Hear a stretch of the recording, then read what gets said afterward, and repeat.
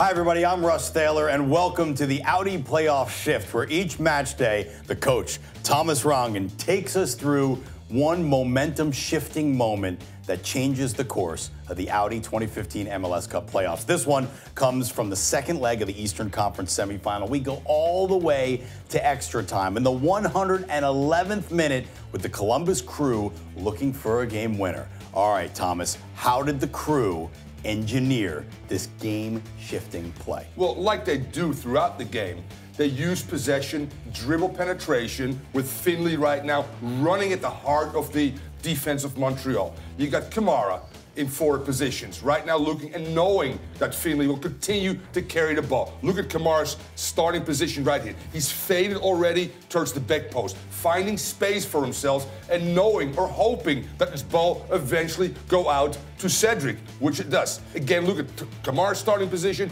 and then look at the guy he's found, Russ. It's Toia, the smallest defender from Montreal, and that's a great matchup for Kamara and for Columbus.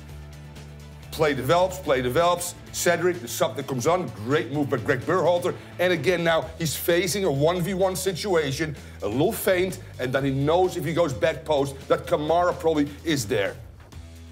As you can see again, dribble, dribble, dribble, come inside, and now he serves a great ball. And then the little details of Kamara coming and dragging Toia inside and then fading behind him that allows him to create that space for himself to get eventually the goal behind Toia. And what a, hey, he's got some ups.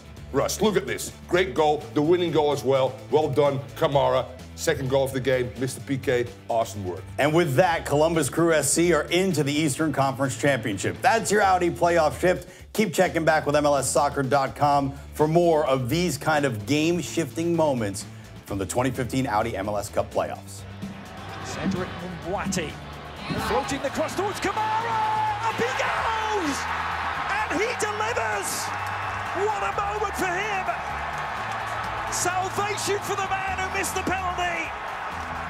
And Columbus within touching distance of the conference final.